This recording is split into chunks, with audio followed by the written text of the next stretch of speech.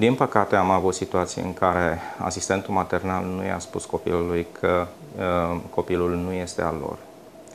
Astfel încât în momentul în care a venit o familie care a găsit uh, copilul pe lista de greu adoptabil, uh, s-a confruntat cu această problemă și uh, luând copilul la ei acasă, copilul s-a simțit răpit.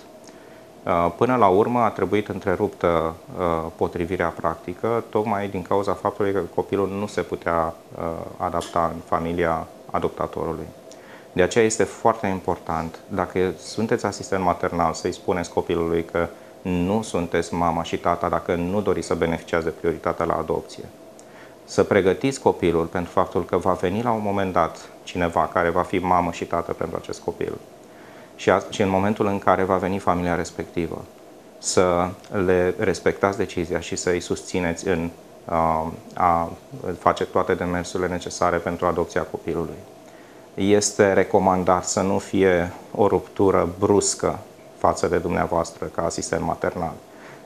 Este recomandat să păstrați legăturile pentru o anumită perioadă de timp, însă păstrând limitele și respectând autoritatea familiei, de, uh, familiei adoptive asupra copilului. Um, este bine ca tranziția să se facă ușor, um, astfel încât ruptura să nu fie bruscă și să nu fie o uh, traumă cronică pentru copil, ci el să înțeleagă că face un pas mai departe în viața lui pentru stabilitatea lui și spre binele lui.